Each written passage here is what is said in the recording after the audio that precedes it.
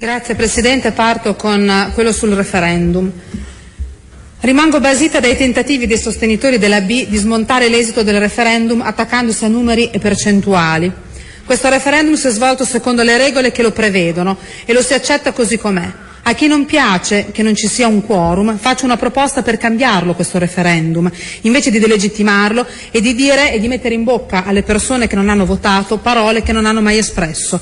Dire che l'83% della cittadinanza ha scelto di mantenere invariato l'attuale assetto della scuola di competenza comunale è sbagliato. L'83% della cittadinanza ha scelto di non esprimersi. Per quale motivo lo sa solo chi non è andato a votare. La B è stata sostenuta da tutta la classe dirigente di questa città e non solo, si sono mossi gli stati maggiori di PD, PDL, Lega, Scelta Civica, CISL, Curia, Prodi, Renzi, ministri, Ascom, Un'Industria e CNA.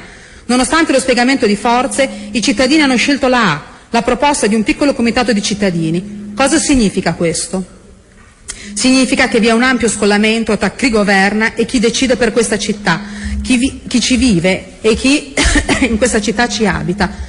Abbiamo assistito nuovamente al fallimento della politica. Chi ci governa non vive sullo stesso pianeta di chi è governato. Caro signor Sindaco, lei nel 2011 è stato votato da 106.000 persone, ora ne ha 50.000 che non condividono la sua posizione in merito al finanziamento comunale alle scuole materne paritarie private. Non è obbligato ad andare avanti per forza su questa strada, ascolti la sua città.